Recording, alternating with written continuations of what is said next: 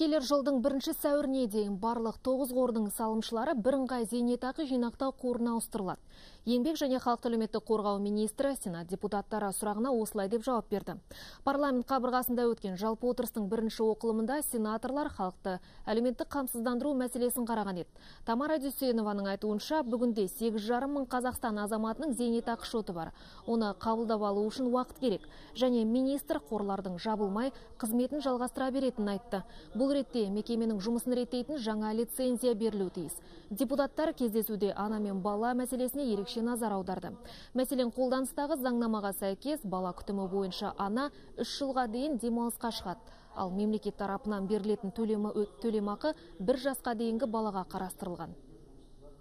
2008 жылдан бастадық қой бұл заңды бір жасқа дейін беріп одан кейін етап етапты түрде бір жарым екі екі жарым үшке дейін көтереміз деген өзіміздің жоспарымызда болған.